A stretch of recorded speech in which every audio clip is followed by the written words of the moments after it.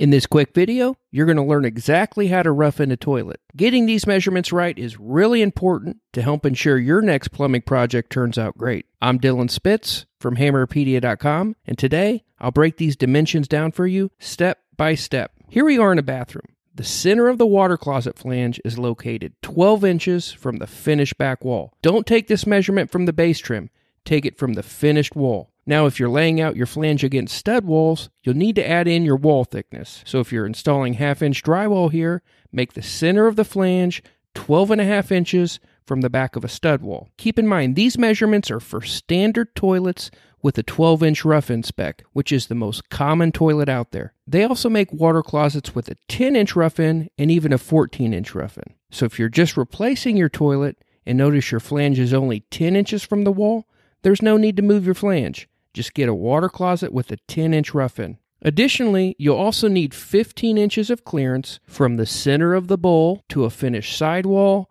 or any adjacent fixture like a tub or a bathroom vanity. By the way, I'll show you more about rough-ins for a vanity in just a second. Keep in mind, if you're just measuring next to a stud wall, be sure to add in the thickness of your drywall. So if I'm putting up half inch drywall here, this measurement needs to be 15 and a half inches. It's also important to know that if your plumbing code falls under the IPC, you'll need at least 21 inches of clearance from the front of the bowl to any obstruction. If your plumbing code is under the UPC, you'll need 24 inches of clearance. Now let's talk about roughing in this water line. So from the center of the flange, you'll want to offset 6 inches to the left and come up 7 inches measured from the top of your finished floor. This is a pretty good height because it will accommodate most base moldings. This is three and a quarter inch base molding, which is really common, and this is five and a quarter. Notice our escutcheon here clears both sizes of trim. This way there's no need to notch your trim around the water line. A lot of times the toilet supply comes in way too low